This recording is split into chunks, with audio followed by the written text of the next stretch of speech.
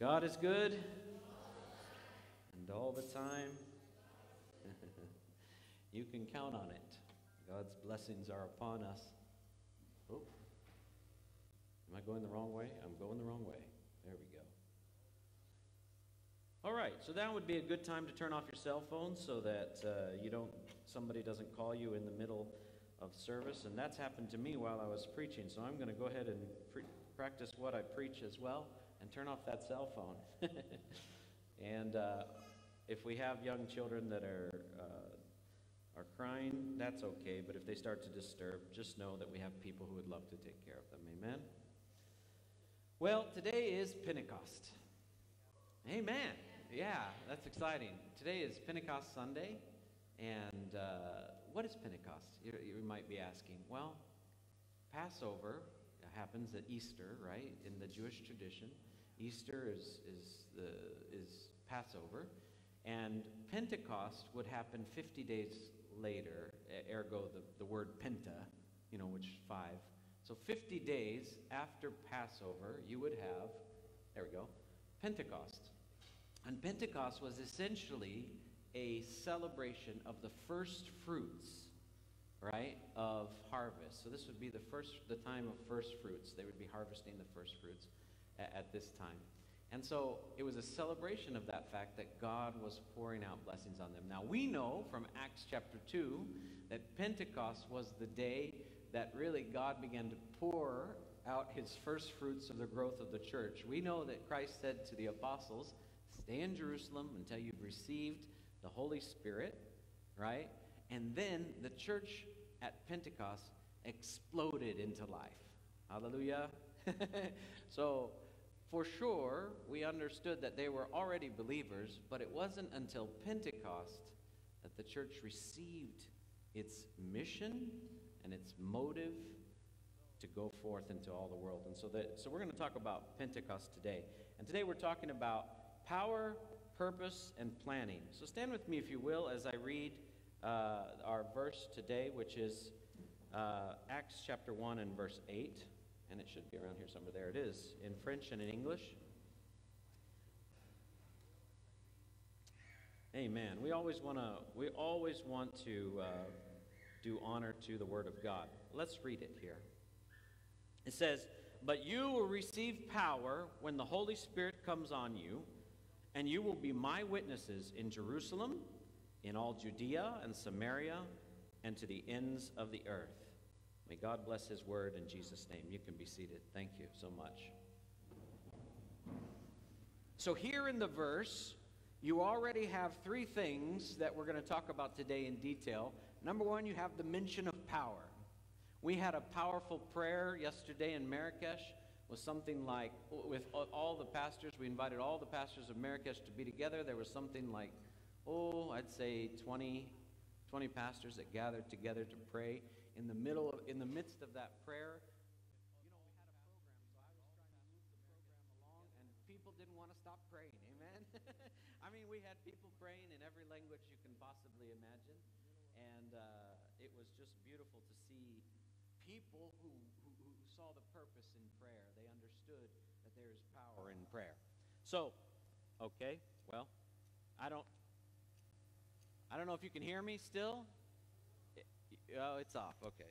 So, I mean, I can. Do you want me to use the mic or no? It's okay? All right, cool. All right. I, I have a loud voice, uh, so my wife tells me anyway. So I'm just going to keep preaching like this. If you guys don't mind, I don't mind.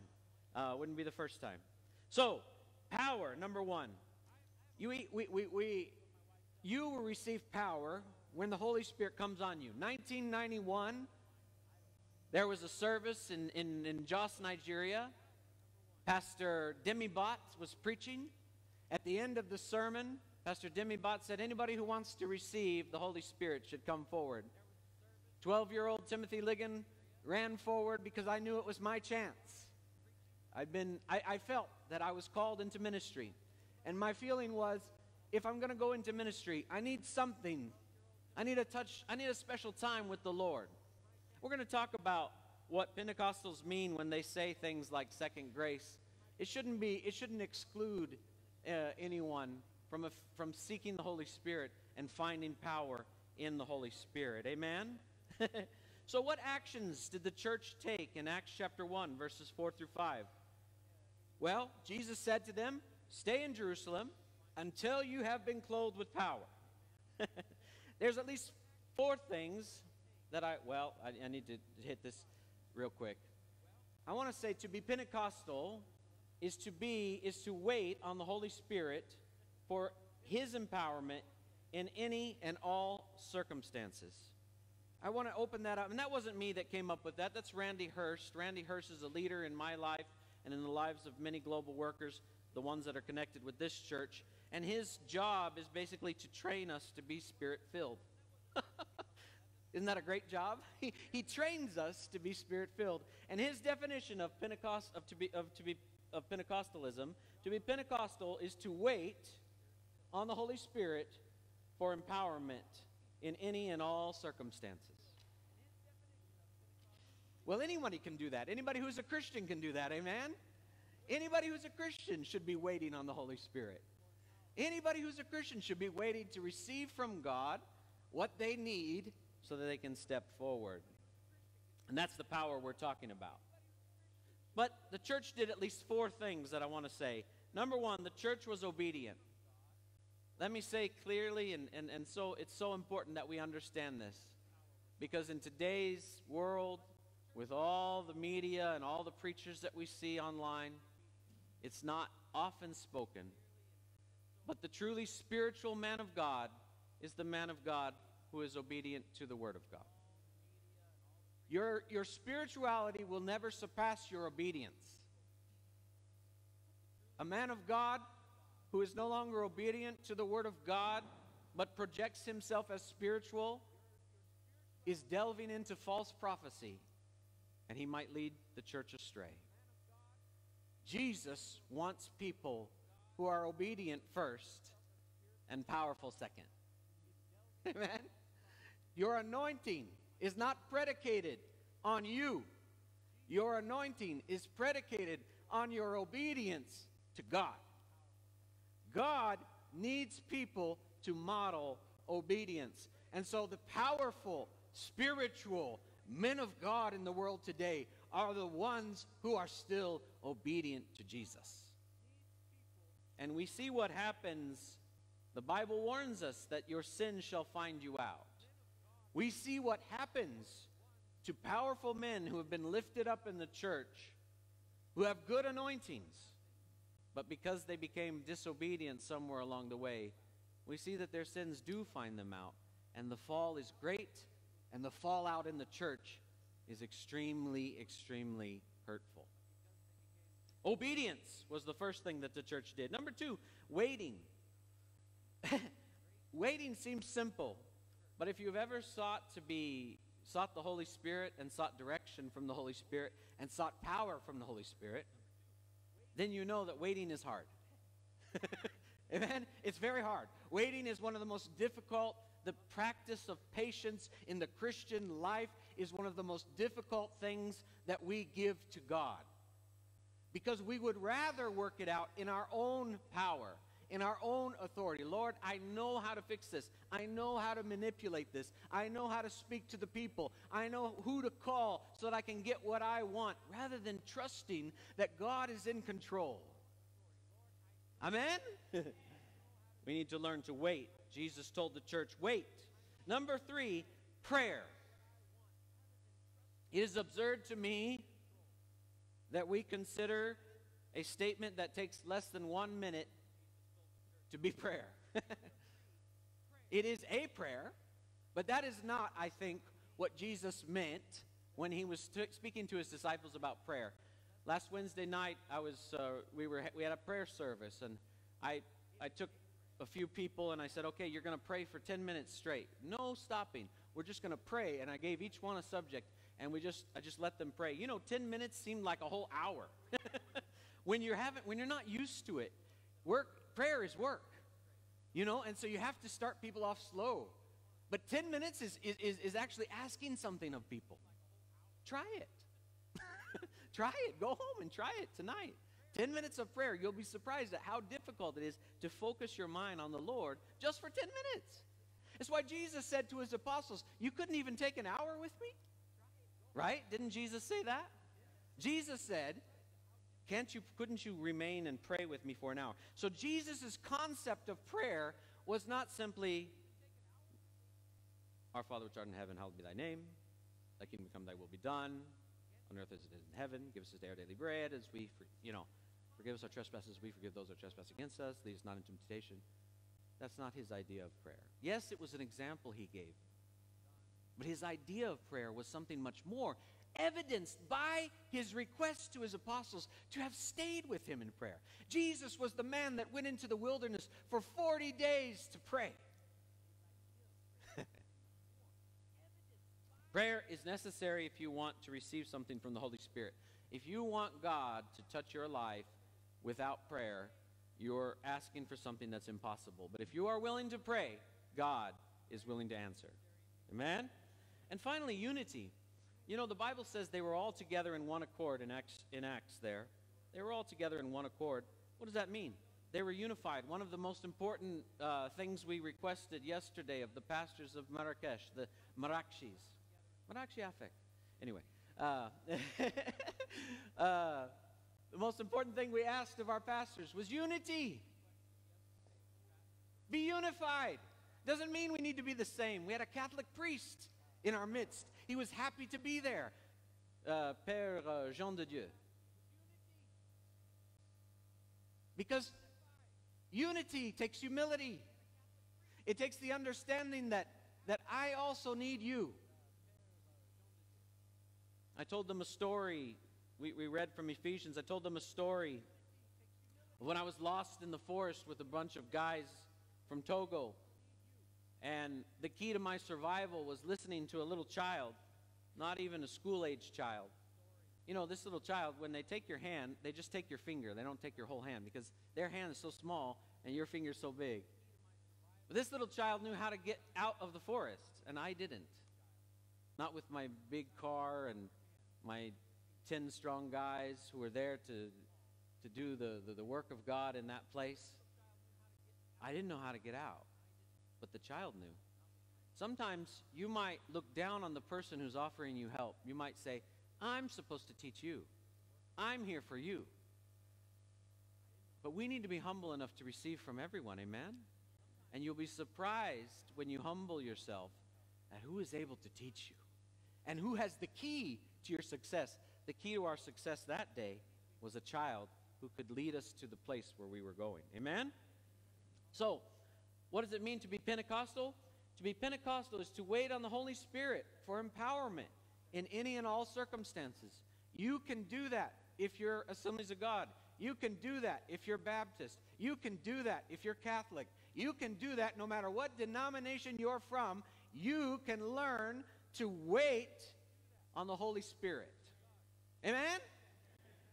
In fact, Jesus I don't even, I don't think that the, the apostles knew exactly what denomination they were at the time. They only knew that Jesus told me to wait until I was clothed with power. Hallelujah! What is God asking you to do? So, the question arises what is the normal experience? What is a normal experience of, the, of Pentecost? What happens when the Holy Spirit, when the Holy Spirit touches me? And by the way, my wife grew up Baptist. I grew up Assemblies of God. Um, it's interesting how she defines these things versus how I define these things. She, she, she has moments with the Lord in which he comes on, he, he, it's a special time with the Lord where he speaks to her. And I'm like, yeah, that's, that's what we call baptism in the Holy, you know, that's, what I, that's what I'm talking about. It's a different terminology, but it's the same thing. It's the same experience. Because everyone believes, every Christian believes, there are some men who, through prayer, through waiting, through unity, through obedience, get closer to God. If we didn't believe that, what is the purpose of church? Right? Isn't the purpose of church to, to, to help us become more like the image of Christ? Right? We're trying to build ourselves into the image of Christ. So all of us believe that we can get a little closer today. Amen? All of us believe we can take a step closer to Jesus.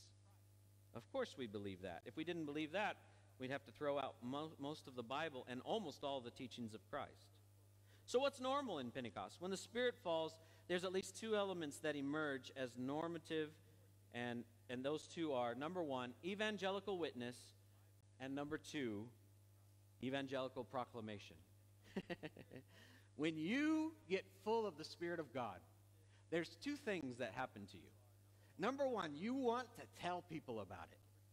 You, you just want to. You want people to know the joy of the Lord. You want people to experience Jesus. You want people to have the freedom that you've had. You begin to get concerned about lost people in the world. You begin to have a heart for those who are suffering in the world. And that's because the Spirit of God has entered you and it's taken your mind from the tyranny of self and it's put your mind on other people around you. You become aware of others. Hallelujah. That's what happened to the church. They became aware of the world around them. And they took action. You know, people who pray for the Spirit of God almost always take action after they've felt God's Spirit in them. what do I mean by that? In other, in other words, I mean it's not a dry, it's not a prayer where, Lord, just help us to do whatever it is you want us to do. No, that's generally not the kind of people that are praying for the Spirit of God. Hallelujah.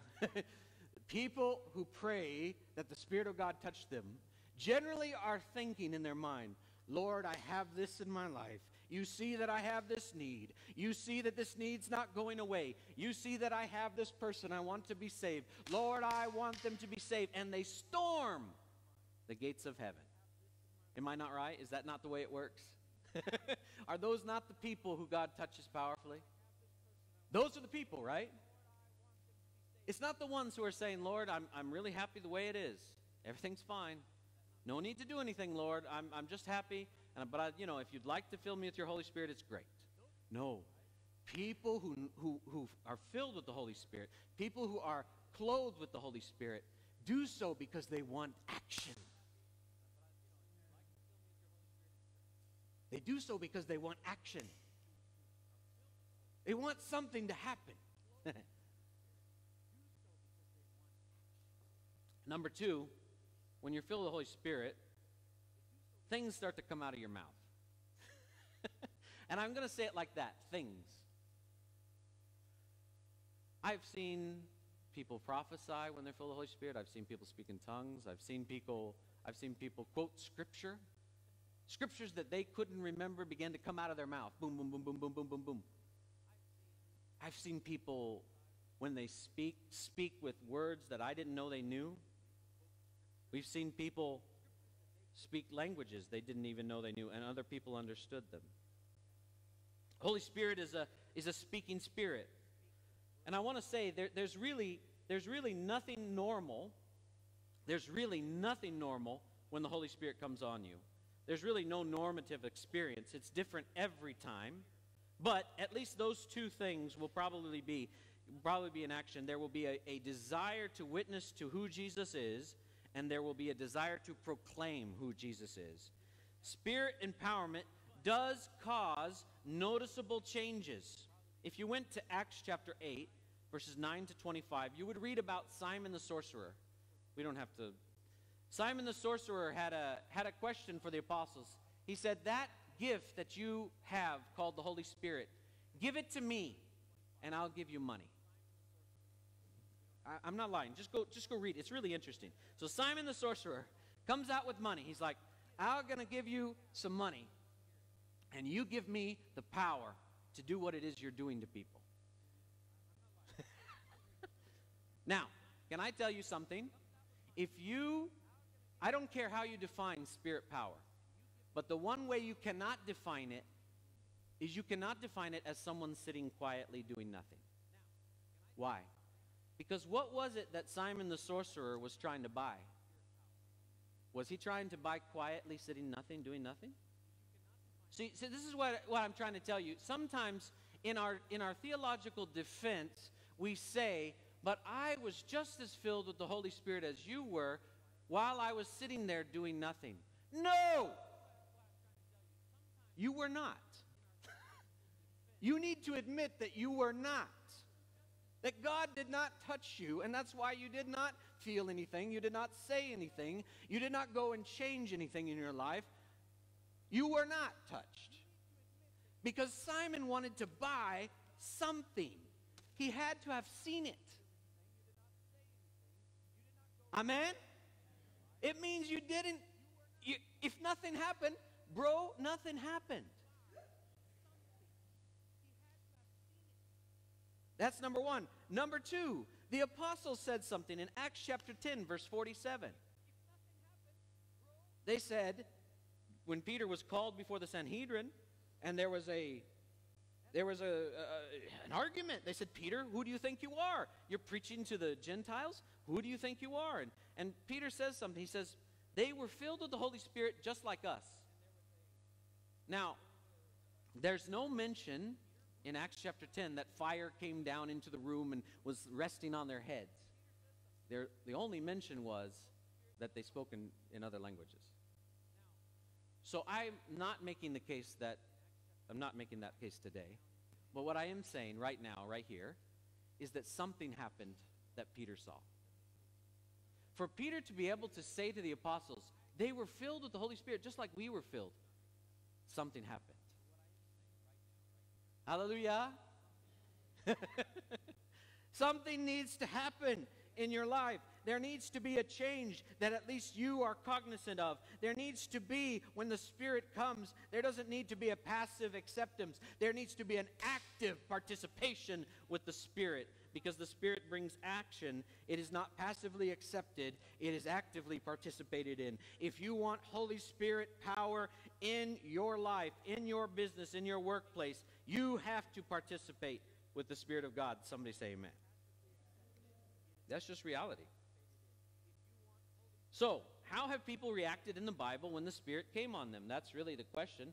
Let's go to the Old Testament. When the Spirit falls, again, at least two elements emerge that seem normal. Number one, people start talking about God.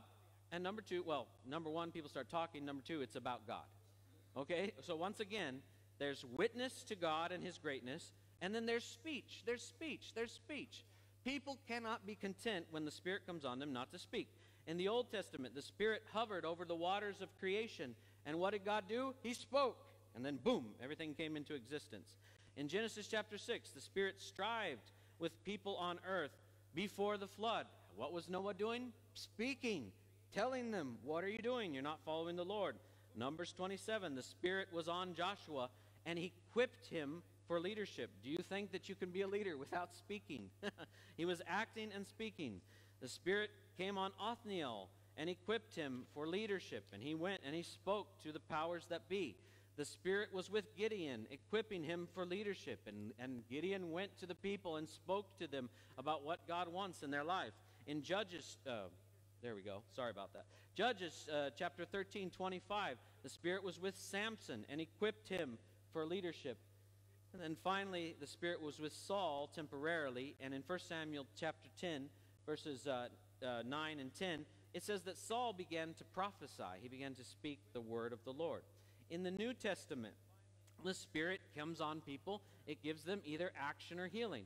Heals in, in Acts chapter 3, we see the, the apostles heal a crippled man. Silver and gold have I none, but such as I have, I give, up, I give unto thee.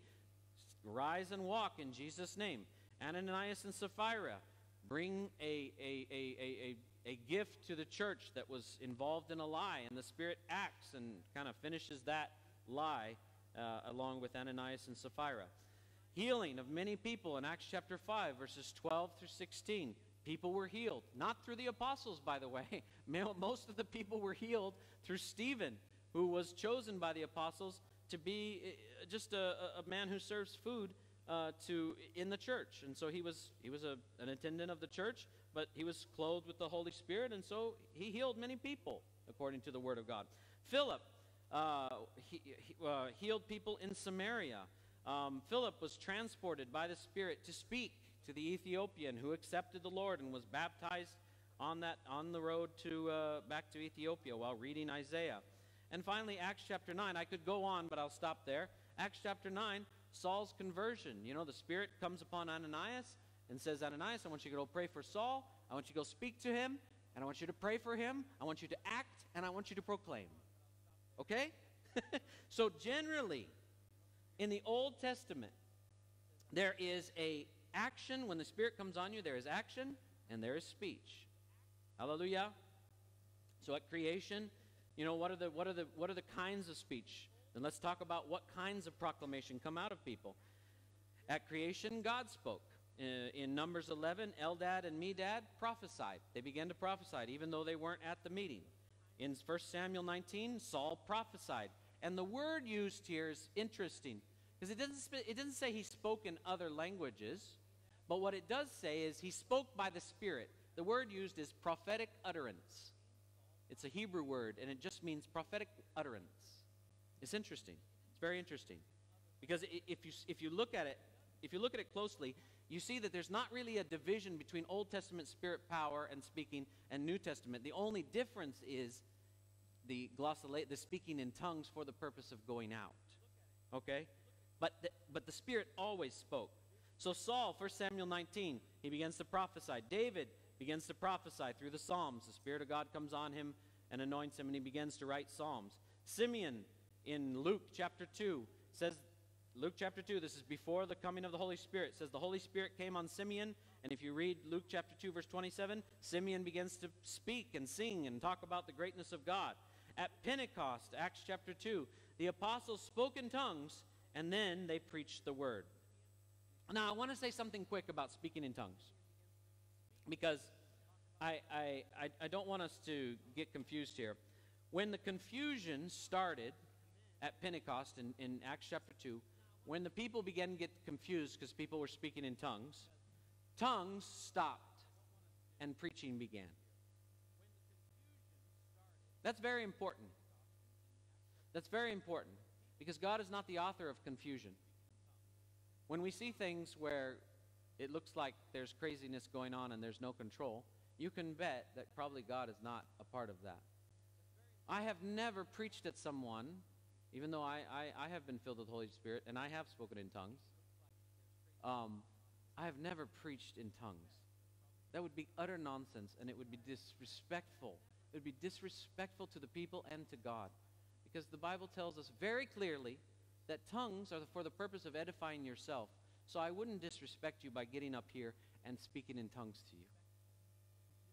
That would be so disrespectful. And yet it's so common today. It's very common. Well, just go on YouTube. It's very common. That is not spirituality, friends. That is not biblical spirituality. It's not obedience because Paul tells us very clearly in 1 Corinthians that you shouldn't do such things like speak in tongues nonstop in front of at the when you're at church because it causes confusions. Paul's Paul's explanation aligns with what Peter was doing. When Peter saw that the crowd was not understanding what was going on, the tongues stopped and preaching in a language that was understood began. Why? because the proclamation of who Jesus is is the business of the Spirit of God. That's, that's really powerful, actually. I love that. The proclamation of who Jesus is is the business of the Spirit of God. The business of the Spirit is not to make you feel warm and fuzzy. It's not to make you look powerful. It's not to make you shake. It's not to make you do weird things. It's not to simply make, it's not even to heal. It, those things are all secondary to the number one purpose of the Spirit of God, and that is to tell the world about Jesus. Jesus said, When the Comforter comes, he will explain everything of what I am. He said, The Spirit of truth will come into you. Hallelujah. So I would say if, if there's anything normal about spirit power, people who are filled with the Holy Spirit are very concerned with talking about Jesus. That's normal.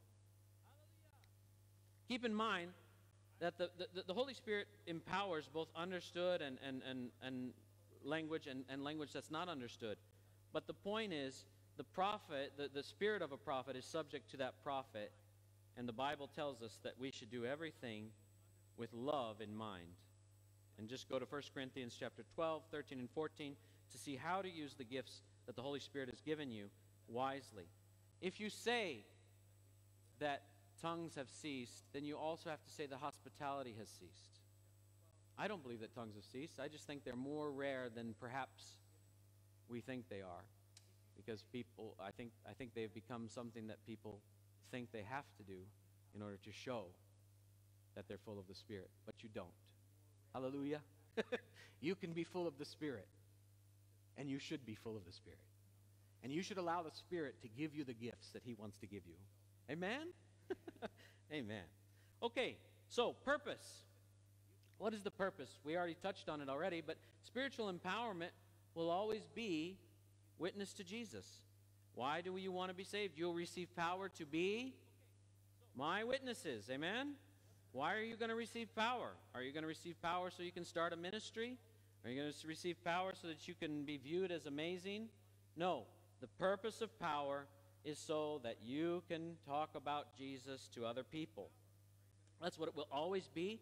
John 15, 26 says that the Spirit will talk about me. That's what Jesus said. The Spirit's going to talk about me.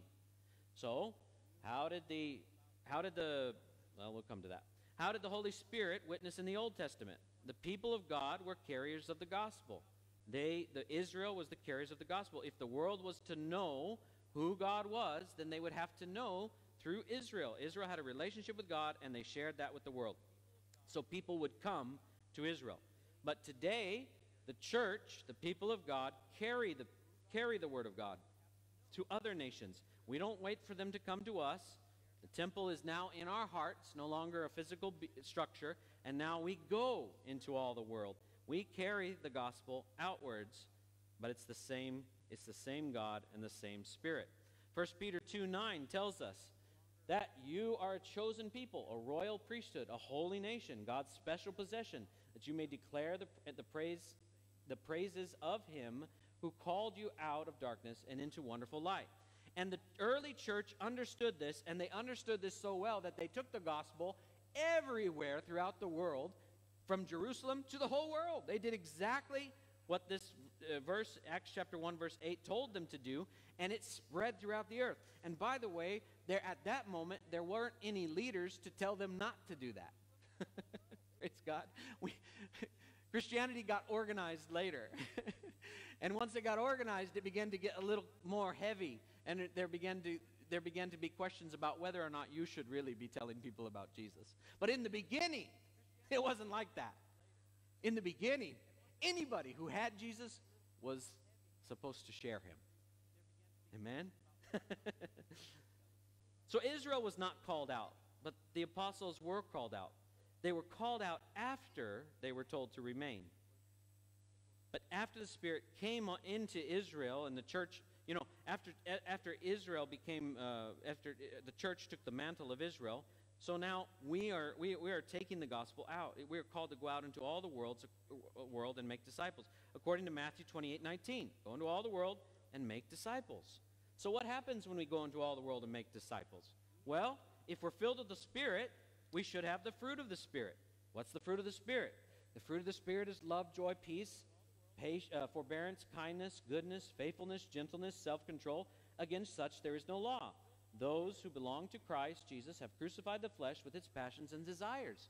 Well, do all Christians have these aspects? No. Does that mean they're not Christian? Probably not. They probably still are Christians. What it does mean is they're not full of the Holy Spirit.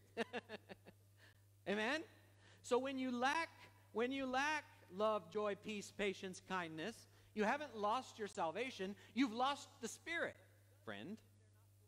This is why I know you're filled with the Holy Spirit, because when you get close to the Spirit, you look more like Him. Hallelujah. so if you're lacking these gifts, you're lacking, these are not gifts, if you're lacking this fruit, it's because you're lacking the presence of the Spirit of God in your life, and the solution is you need to be closer to Him. Now, I'm not going to please everybody in this sermon. There's a side, there's a group here that wants me to say you need to be baptized in the Holy Spirit with the evidence of speaking in tongues. The reason they want that is because they want the best for you. They want you to seek something to get it. But let me tell you a reality. Even after you're baptized in the Holy Spirit with the evidence of speaking in tongues, I still want you to find more than that. And Jesus wants you to find more than that. Amen? Paul said, Seek the best gifts. And can I tell you, you should never stop seeking, no matter where you are, no matter how you had it, no matter what, what you've received from the Lord. And whatever you've received from the Holy Spirit is good, but you should never stop asking for more. Amen? So that's the so that's the first thing that we see when the Spirit comes in us. We see those kinds of traits: love, joy, peace, patience, and kindness. But then the Bible also tells us about the gifts of the Spirit, and I don't know why that's so small. Christ Himself gave the apostles and the prophet the gifts of the, this is yeah it there's a slide missing anyway in 1 corinthians chapter 12 there we, the bible talks about the gifts of the spirit you can look that up they're not exhaustive but the, the gifts of the spirit are things like a message of wisdom for your neighbor a message of knowledge for your neighbor faith to go through difficult times a gift of healing miraculous power prophecy distinguishing of spirits speaking in tongues and it says that the spirit gives as he wills these gifts your gifts may coincide with your calling or they may not. There are pastors who have no discernment. There are pastors who don't speak in tongues. There are pastors who don't have the gift of healing, but they're still called. Because Ephesians tells us, because we don't want to get these mixed up, Ephesians tells us that he gave some to be, uh, so Christ himself gave some to be apostles, some to be prophets and evangelists and pastors and teachers to equip the people of God. And so your calling may coincide with your gift, but it may not as well. There are people you may be called to be a prophet, but if you live in sin, you're not going to work in the prophetic because you don't have the gift. you cannot disobey God and have the gift of, of prophecy. You'll, you'll become a false prophet. Trust me, you won't be hearing from the Holy Spirit. You'll be hearing from some spirit, but it's not the Holy Spirit. But you might have a calling to be a prophet. You might have a calling to speak the word of God in the church, but because your life doesn't match up with the Spirit of God, you don't have the gift. But on the other hand, you may be called to be a pastor, but you don't seek discernment. You don't ask the Holy Spirit to give you discernment. So you empower all kinds of craziness in the church because you're just you're going by your own idea. Hallelujah. And so don't get those three separated. We have a calling of a person, apostle, teacher, prophet, pastor. You have the gifts of the Spirit, speaking in tongues, pro- miracles, prophecy, uh, you know, uh, faith. And then you have the fruit of the Spirit love, joy, peace, patience, kindness. Of all those three, the one that should always exist is the fruit of the Spirit. No matter the calling, no matter the gifting, the one that you should seek, if I can say the most important, is the fruit of the Spirit. The fruit of the Spirit should always be found in our lives, and it can only be found when we're in proximity with the Spirit of God. Finally, planning. Pentecost was an outward movement. So we see here your strategy should inform you, but it should never command you. Pentecost was an outward movement. The Holy Spirit told the church where to go and how to go. Strategy does not negate spirit power. We can be organized in the church and still be filled with the Holy Spirit. Just because I plan how my service goes doesn't mean I don't give time to the Holy Spirit. Amen? We can have structure and also be spirit filled people. In fact, Paul tells us you should have some structure in 1 Corinthians 12, 13, and 14. But not everything that is spontaneous is spiritual. Just because you feel like God told you to jump up and run around the room doesn't mean you're any more spiritual than the person who's sitting down. Amen? in fact, you might be less spiritual because you're trying to show uh, show off in a, in a way. Paul had a strategy. In Acts chapter 16, verse 6, he said, I was going to go. You know, Paul and his companions were traveling to the region of Phrygia and Galatia, having been kept by the Holy Spirit from preaching the word in the province of Asia. Paul's strategy was to go to Asia. He thought, this is a good strategy. I'm going to go to Asia. I'm going to preach the gospel. Why would the Spirit be against it? But what does the Bible say? The Spirit constrained him. He was listening to the Holy Spirit. And the Spirit said, no. In the church,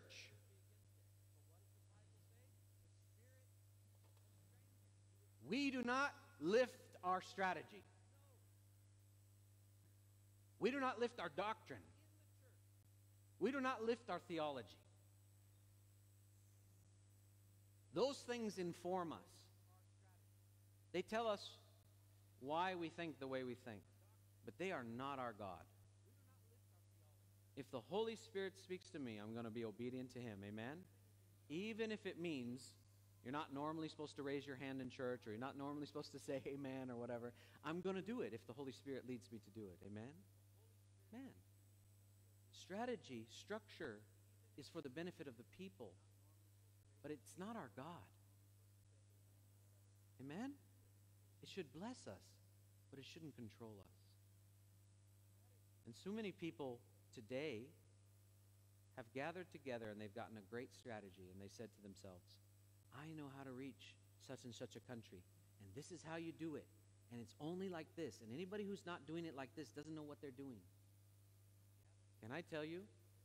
God has a way of using foolish little people who are listening to Him rather than using wise people with good strategies. Trust in the Holy Spirit.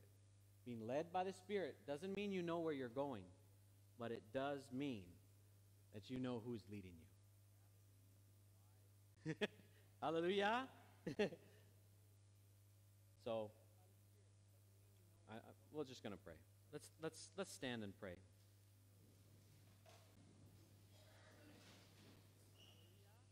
Today is Pentecost. And I challenge you, my challenge for you is to go deeper. If that means you want to see more of the fruit of the Spirit in your life, go deeper.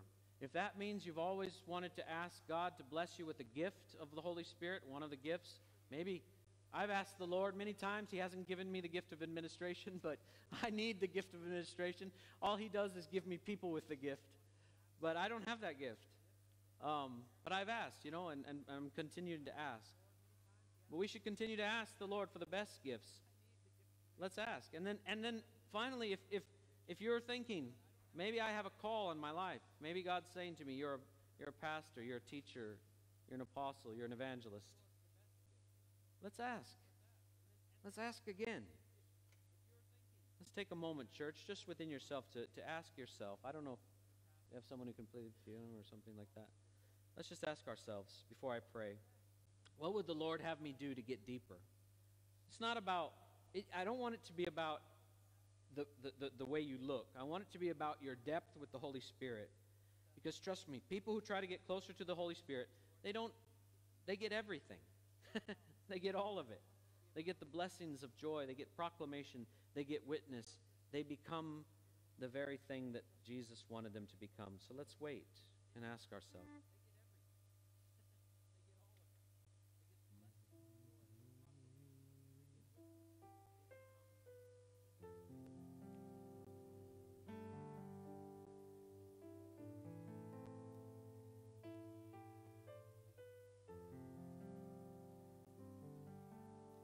There's something you need to do to get closer. If there's a sin that's in the way, you know that if I stop doing that sin, I could probably get closer, then, then just get rid of that sin. You need to just decide today, this, that, that's over. I want more of you, Lord Jesus. I want more of your spirit. I'm going to let go of that sin. If there's a, a hardness of heart, Lord, I, you know, sometimes we become hardened because we sought the Lord and He didn't give us what we wanted. But let's do it humbly. Let's change our strategy. Let's say this Lord, whatever you want, that's what I want. If you don't want to give me anything, that's okay. But give me more of your presence. Amen. The most spiritual people are the ones who are obedient. If you can be obedient, you're already you're already so spiritual. Are you obedient in your walk with Christ? Do you spend time with Him? Do you abide with Christ daily? Do you talk about Jesus when people ask you, or do you hide your testimony?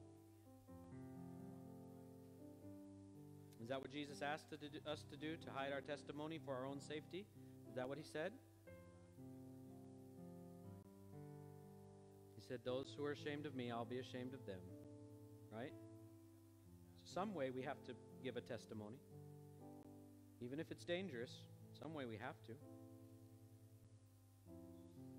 Are we being obedient, church? Is there some time that we know that we should be giving to God, time that we should be giving to our family, but we're not giving it? Are we taking a Sabbath? Do we, do we trust God to take time with our family and not work? Say, God, I'm going to take time with my family because I trust that you have my blessing. Only you know, only you know what the Holy Spirit's speaking to you. Let's pray. Father God, in Jesus' name, I pray for all of us. Challenge me, Lord God, challenge us. Challenge us, Lord God, again to trust in you, to get closer to the Holy Spirit again, to believe that the Holy Spirit wants to call us into our calling. He wants to gift us into what we're doing, and He wants to gift us with, his, with the fruit of His Spirit, to grow in us the fruit of the Spirit. Father, we see the power that when people are filled with your Spirit, we see the power. We know it exists. We don't deny, Lord God, that in every stream of every denomination, there are people that seem to be empowered by you. In the Catholics, Lord God, in the Baptists, Lord God, in the Assemblies of God, Lord God, we see the Spirit rest on people and use them. So we don't deny your power, Lord God. We don't get into that argument that is meaningless. But we ask, Lord God, that you empower us. We ask, Lord God, that you would give us purpose, that you would remind us that if we are empowered, if we are emboldened, if the Spirit is upon us, it's for the purpose of speaking about Jesus and lifting up Jesus. And finally, Lord God, we ask for your planning in our life. All of us have a strategy, Lord God. There's nothing wrong with that. But we pray, Lord God, that our strategy would never become our God. It's in Jesus' name we pray. Fill us with your Holy Spirit, Lord God, and challenge all of us today to get closer. For it's in Jesus' name we pray. Amen. Amen. You can be seated. Well, actually, no, don't be seated. uh, I think we're just going to close. We don't have any announcements. Do we have any? Yeah. So for baptism, next Sunday, I think, will be the last Sunday. Worship team, do you want to come up?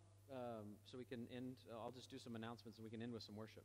Um, next Sunday will probably be the last Sunday that I'm taking taking notices for baptism because I need time to train people, okay? So seriously, seriously, seriously, if you know someone that hasn't been baptized or if you haven't been baptized or you'd like to be baptized, please give me enough time to, to disciple, okay? Because the last thing I want to do is just make it a, a ceremony. Who needs that? Right? Who needs more religion? Do you? I don't. I don't want more religion. I don't want to just put you in water and, yeah, it's done. No, I want to make sure, it's my job as a pastor to make sure that you are not just Christians, but good Christians. Amen? so we want to be good Christians, okay?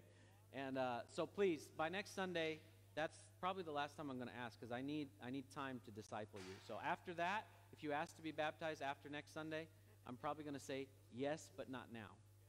Yes, but later. Okay? So just to be clear. Um, even so, somebody will ask. And then for for for uh, for children dedication, dedicating your child. Why? Why do we do that? Is it for salvation? I just want to make this clear. Your child one day will be talking to you about God. And you're going to turn to them and you're going to say, On this day, I dedicated you to the Lord. On this day I dedicated you to the Lord, and you are His. And that statement will be enough to hold them in the grip of grace forever. Let's do it, okay? Give that to your child. You know? Give that to your child. All right. Do we have a song you can sing? Uh, go ahead. Lord, I give Let's sing together. My heart. Hallelujah. I give you my soul. I live for you, and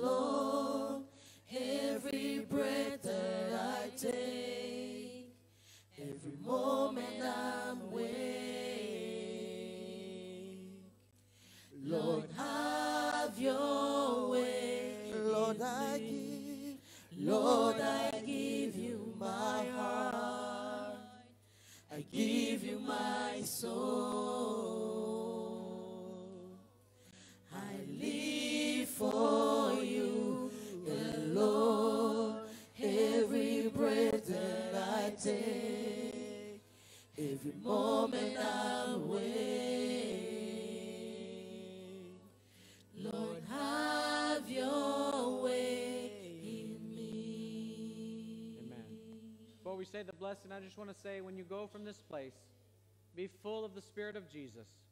Be in love with Jesus. Talk about Jesus with your friends. be Jesus with skin on to your friends. Think about Jesus.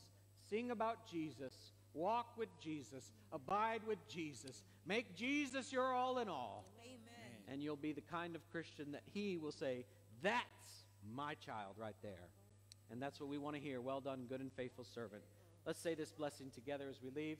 May the grace of the Lord Jesus Christ and the love of the Father and the fellowship of the Holy Spirit be upon us. Amen. God bless you as you go from this place and bring you back here next Sunday. Lord,